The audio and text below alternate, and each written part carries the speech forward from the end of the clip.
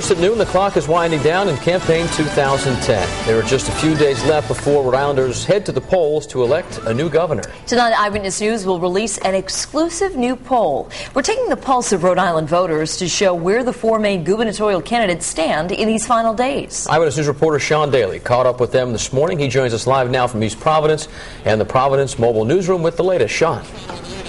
Yes, Patrick and Elizabeth, with five days to go before the election, the four leading candidates for governor are still sniping away at each other. We spoke with all four of them this morning. To all uh, four candidates, what, someone's emerging from this room on Tuesday. They will be elected the next governor. They've become a traveling roadshow. Independent Lincoln Chafee, Republican John Robitaille, Democrat Frank Caprio, and moderate Ken Block all together once again this morning, this time on the John DePetro Show on WPRO Radio.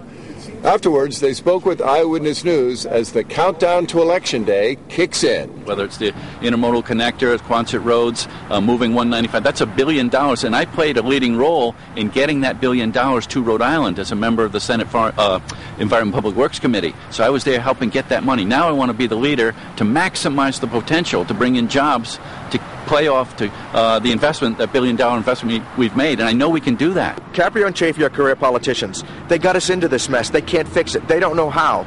Uh, you know, I am not a career politician. I'm a leader. I know that we have to make tough choices, and I know I've made tough choices throughout my entire life. And the people are seeing that. I am not going to play these silly campaign games. I would never, never tell the President of the United States to shove it. Rhode Island small businesses and Rhode Island families, they're in a tough spot right now and I've been listening to them, and I'm going to get up to that state house. I'm going to fight every day for the people across the state to hold on to their jobs, to bring in jobs to the state. That's what this campaign's really all about. Moderate Ken Block had to rush out to a campaign event afterwards, but we spoke by telephone and he told me he's still in high gear because he believes voters are still trying to make up their minds. Live with the East Bay Mobile Newsroom, Sean Daly, Eyewitness News.